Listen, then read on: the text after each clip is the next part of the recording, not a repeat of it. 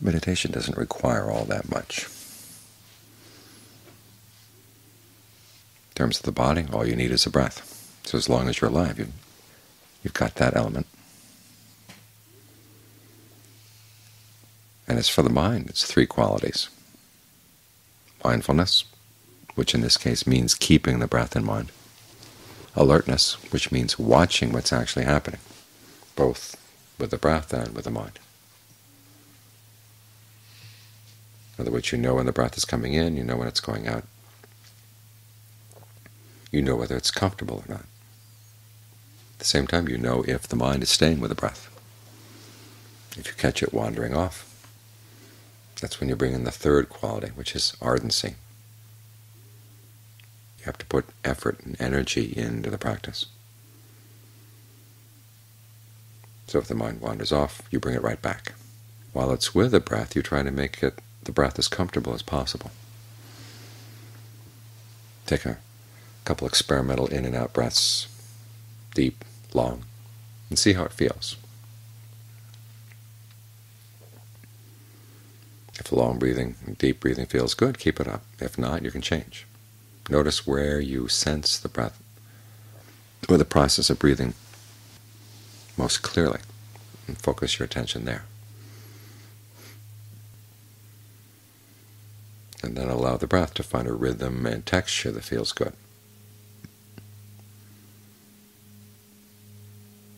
That's it. Those are the basic ingredients. The important thing is that you keep them together as continuously as possible. You're taking your raw materials here and you're trying to develop them, and they develop by staying together being mindful of the breath as long as possible, being alert to the breath as long as possible, and learning to adjust the effort of your ardency so that it's just right, not too strong, not too weak, just enough to keep things going and going and going. In other words, it has to be strong enough to catch any wandering of the mind and bring it right back but it has to be gentle enough so that you can maintain it.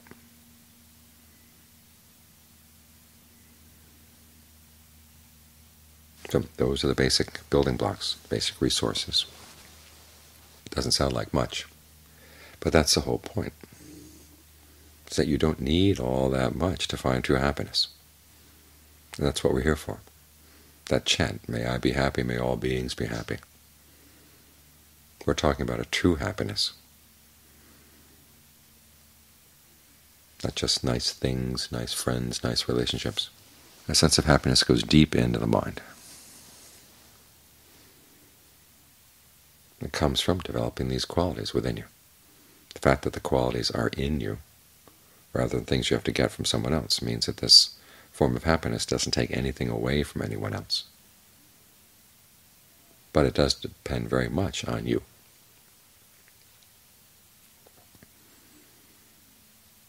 Fact that it doesn't take anything away means that it's harmless. You're not imposing any difficulties on anybody by the fact that you're look, sitting here looking for happiness at your breath.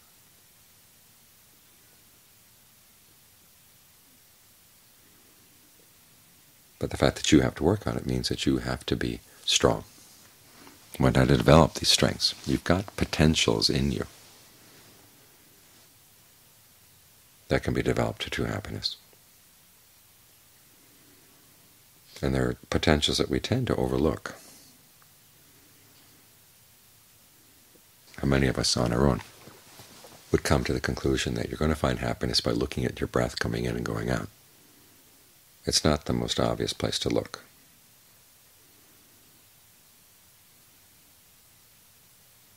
Something so ordinary, something so common. Doesn't seem all that promising. As for your mindfulness and alertness, they may not seem all that promising either. You look at how long you can keep something in mind, and many times you make up your mind you're going to do something, and a few minutes later you've totally forgotten what it was. The same goes with your alertness. In the beginning form, they don't seem all that promising.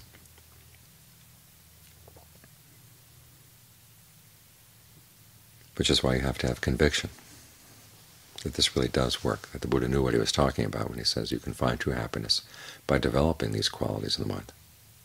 And that conviction right there is a form of strength, because it keeps you on the path. It keeps you looking here rather than hoping to find happiness from other people or other things. In some ways, it's a scary prospect that you're not going to be able to depend on other people. You can depend on other people for guidance, but you have to be very selective in whom you depend on, because there are a lot of people out there that will give you all kinds of wrong ideas about where happiness can be found.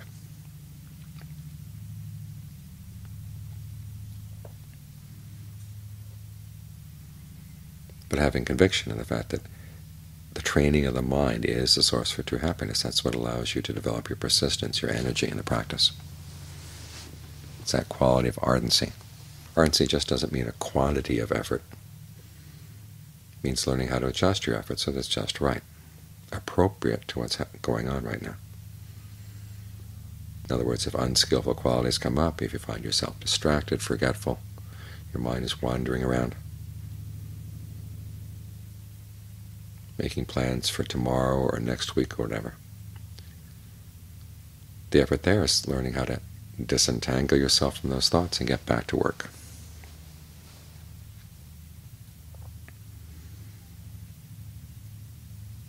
And you find it's pretty amazing. The mind is sitting here watching the breath, and all of a sudden it decides, well, here's lots of free time. I can think about anything I want, and it goes straight to things that get you worked up and riled up in terms of anger, fear, greed, lust. And so the effort here means learning how to drop those things, how to disentangle yourself from those thoughts. See them simply as events coming into the mind, and not getting hoodwinked into thinking that there's something really worth following through with.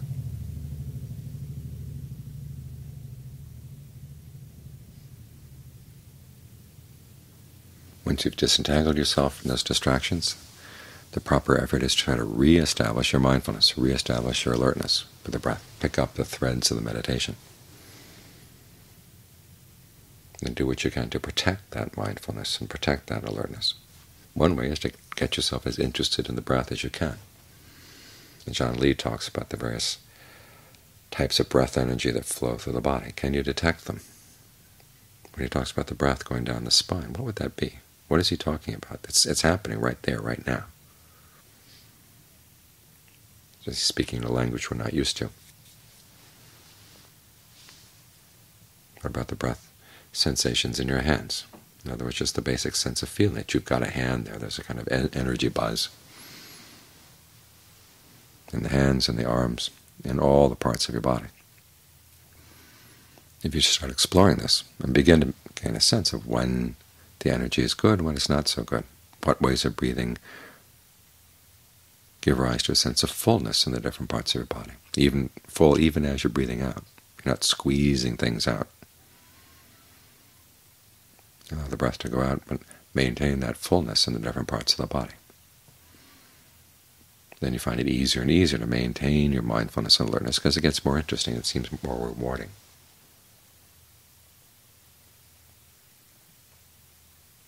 And almost with it, without thinking about it, you find yourself developing concentration and the discernment that comes with figuring out what's the appropriate effort to apply in any one particular situation. What you need right now for the mind to be willing to settle down. And once it's settled down, how do you keep it there? And what do you learn about the mind as you do this? These are ways in which you take the basic qualities you have in the mind and you learn how to strengthen them, so they really do become a foundation for an inner sense of well-being.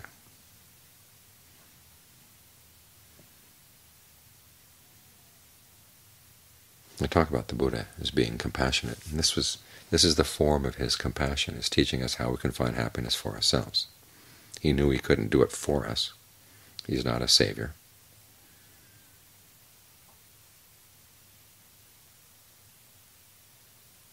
And some people complain about the teachings that it seems they seem emotionally cold this way. But the Buddha is just very realistic. He was teaching us each how to be independent. Think in terms of parenting, he was the ideal parent. Teaching you how to stand on your own two feet.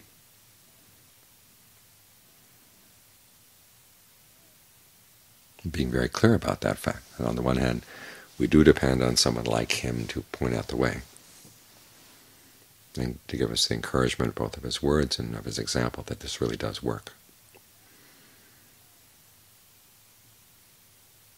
But at the same time, we realize we have to do this ourselves. You can't depend on anyone else to do it for you. And if you don't do it now, when are you going to do it?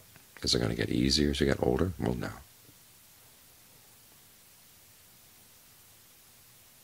This is why he said that all the skillful qualities of the mind depend on a sense of heedfulness,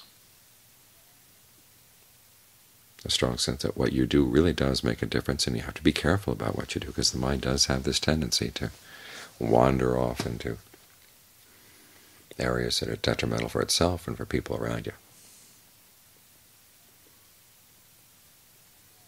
So the mind needs to be trained. It can train itself, though It doesn't need somebody else to come along and do the work. In fact, nobody else can do the work for you. It's the same as when you learn how to ride a bicycle. No one else can make you balanced. You have to develop a sense of, for yourself of how to maintain your balance on the bike. They can give you advice, they can give you encouragement, but if you're falling down, it's from your own lack of sense of balance, your own lack of observation. So that's what you've got to correct. Be more observant. And you learn. You can teach yourself. Because the Buddha has no sense that we're either innately good or innately bad. We have lots of different qualities and lots of different identities.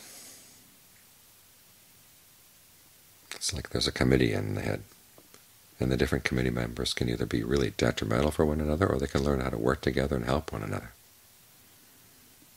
so that one member sees the drawbacks or the weaknesses of another member and can provide the strengths that are needed. This is why it's there's no one-fold path. It's an eightfold path. There are eight qualities you have to develop. But they all develop right here out of these very basic qualities of being alert, mindful, ardent as you stay with the breath.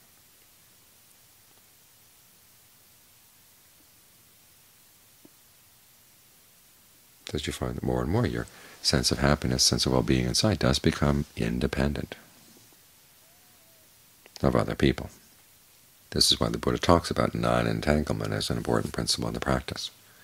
The more entangled you are with other people, the more you get used to depending on them, at least hoping that you can depend on them, and you don't do the work that you could be doing inside yourself. Because the problem with other people, even if they're as they say in Thailand, 100,000 good, is that no relationship can last forever. And the better the relationship, the harder it is when it ends.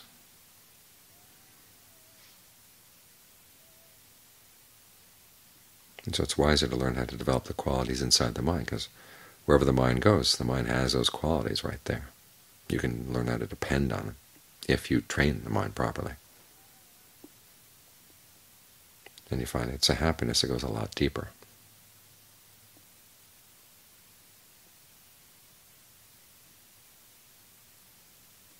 So like any good parent, the Buddha trains you to the point where you don't need him to train you anymore.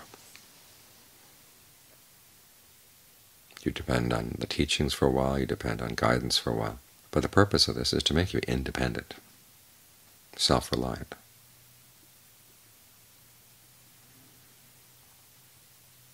And the teaching that does that is probably the greatest expression of compassion of all.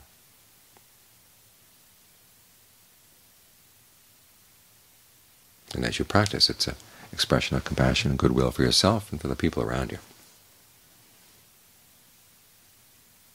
You don't need to lean on them as much. They're not going to be subject to your greed, aversion, and delusion, as they have been in the past.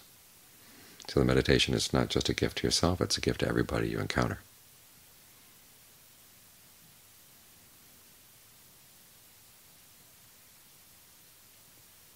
So it's a very independent kind of compassion.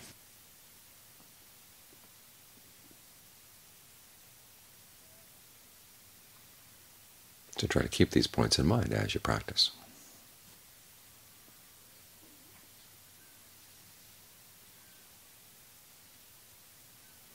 Until you reach the point where really, you really can depend on yourself.